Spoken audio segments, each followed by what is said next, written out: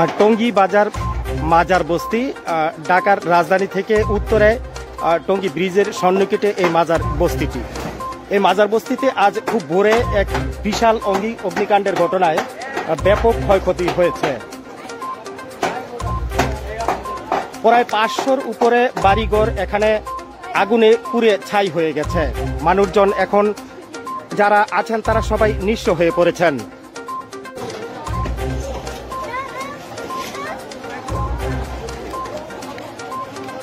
খুব ভোরে এখানে অগ্নিকাণ্ডের ঘটনার পরপর হঠাৎ করেই যে আগুন লেগেছিল তা ডাক চিৎকারে এলাকার লোকজনের সবাই সজাগ হয়ে যে যার মতো দৌড়ে এখান থেকে নিরাপদ স্থানে চলে যায়।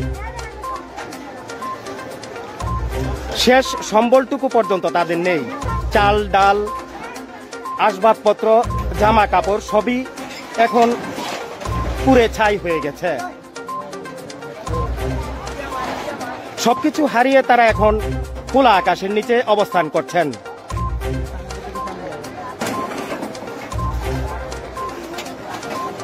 টঙ্গী ফায়ার সার্ভিস জানাচ্ছে যে প্রায় দু ঘণ্টা পর্যন্ত ধাউ ধাউ করে আগুন জ্বলছিল। আগুনের কুণ্ডুলি দু তিন কিলোমিটার দূর থেকে দেখা যাচ্ছিল। মানুষজন এসে ফায়ার সার্ভিসকে সহযোগিতার মাধ্যমে আগুন নিয়ন্ত্রণে আনে, তবে ততক্ষণে সবকিছু শেষ হয়ে গিয়েছে।